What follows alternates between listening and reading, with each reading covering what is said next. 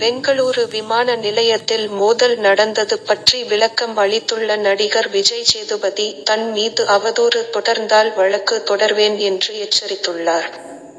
கடந்த மூன்றாம் தேதி பெங்களூரு விமான நிலையத்தில் மத்திய தொழில் பாதுகாப்பு படையினர் சூழ நடந்து சென்ற நடிகர் விஜய் சேதுபதியை பின்னால் ஓடி வந்த ஒரு நபர் எகிரி எட்டி உதைத்த வீடியோ காட்சி சமூக ஊடகங்களில் வைரலானது. விஜய் சேதுபதி தாக்கப்பட்டதற்கு பலரும் கண்டனம் தெரிவித்திருந்தனர். இந்நிலையில் பெங்களூரு விமான நிலையத்தில் விஜய் சேதுபதி தாக்கப்பட்டதாக பரவும் செய்தி உண்மையில்லை என்று பெங்களூரு போலீசார் விளக்கம் அளித்தனர்.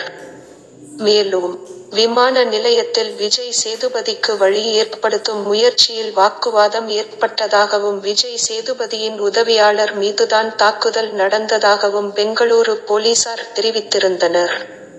அதே நேரத்தில் இந்த விவகாரத்தில் இரு தரப்பினரும் பேசி சமாதானம் ஆகிவிட்டதாகவும் கூறப்பட்டது. இந்த விவகாரத்தில் தாக்குதல் நடத்தியவர் மகா காந்தி என்பதும். நடிகர் விஜய் சேதுபதியோடு புகைப்படம் எடுக்கும் முயற்சியில் தான் மோதல் ஏற்பட்டதாகவும் தகவல்கள் வெளியாயின. இந்நிலையில் இது தொடர்பாக பெங்களூரு போலீசார் விசாரணையில் மகா காந்தி தாக்கியது தொடர்பாக விளக்கம் அளித்திருந்தார்.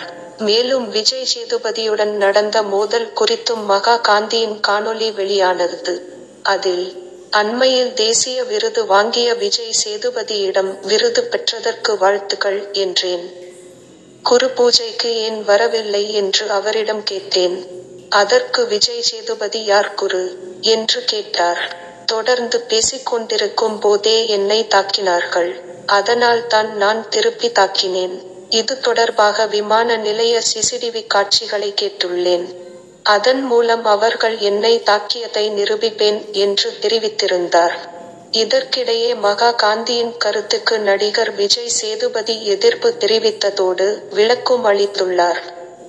அனைவருக்கும் வணக்கம். உங்கள் விஜய் சேதுபதி பேசுகிறேன். பெங்களூர் விமானத்தில் நிலை தவறிய நிலையில் ஒருவர் என்னை அணுகினார். நான் பிறகு பேசலாம் என்றேன். ஆனால், நீ என் ஜாதிதான பேசுப்பா. நானும் நடிகன்தான் என்பது போல சத்தமாக கேட்டபடி வந்தார். மற்றபடி அவர் காணொளியில் சொல்வது போல தேசியத்தையும் தெய்வீகத்தையும் அதே சமயம் தமிழர்களையும் தன் உயிராக கருதி வாழ்ந்த தெய்வத்திருமகனார் பசும்பொன் ஐயா குறித்து நான் எதுவும் பேசவில்லை. அவர் நிலையறிந்து மன்னித்தேன். நான் ரசிகர்களிடம் எப்படி நடந்து கொள்வேன் என்பதை நாடறியும். தொடர்ந்து அவதூறு செய்தால் சட்டப்படி நடவடிக்கை எடுக்கவும் முடிவு செய்துள்ளேன். என்று விஜய் சேதுபதி எச்சரித்துள்ளார்.